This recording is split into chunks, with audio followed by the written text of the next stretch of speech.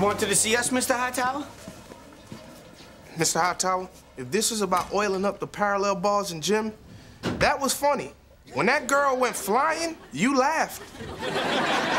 Well, I'm not laughing anymore, boys. I just called you two in here to give you back a few things that I've confiscated from you over the years. Sweet. Is my silly putty in there, Mr. Hightower? Yeah. Hold up. You giving us our stuff back, Mr. Hightower? Are you dying? Wait a minute. Are we dying? Nobody's dying, boys. Miss Greer went over my evaluations. They were so bad, she fired me. She gave me a 48-hour notice. What? You got fired, Mr. Hightower? We didn't know those evaluations were that important. Yeah, well, it cost me my job and my pension.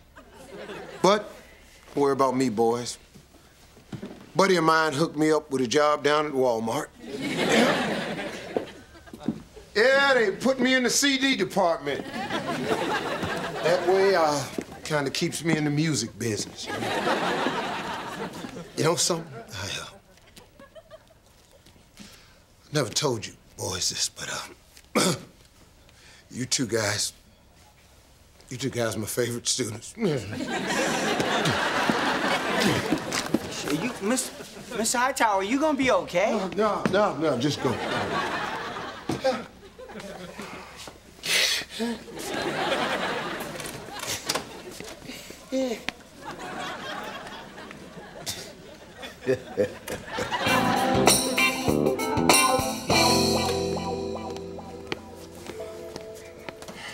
Hello, boys. Hey, I was just sitting in my class for the last time.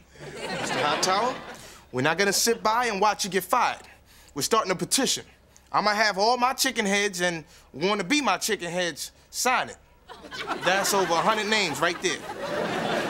And we have a picture with you with a bunch of kids and President Clinton. I've never met President Clinton. Well, actually, it's uh, the president and Jesse Jackson. We just uh, cut his head off and put yours in there. Yeah. And once the school board sees this, you're gonna get your job back and a raise. Nice try, boys. Those evaluations cost me my job. And I started Walmart on Monday.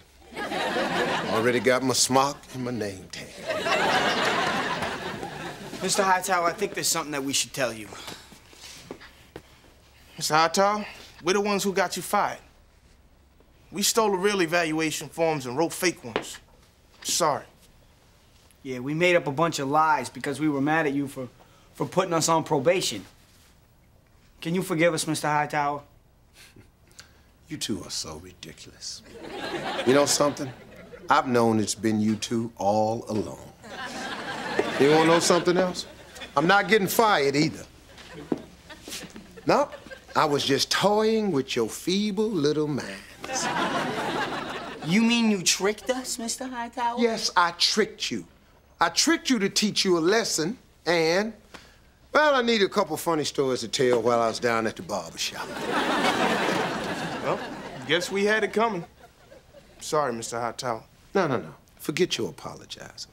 Just do me a favor, boys. Pick your grades up and graduate, okay? Look, I put you two on probation because I happen to care about you. And I don't want to have to look at your mugs again next year. Okay. You're right. Hugs! Boy, I don't think he's in a hugging mood.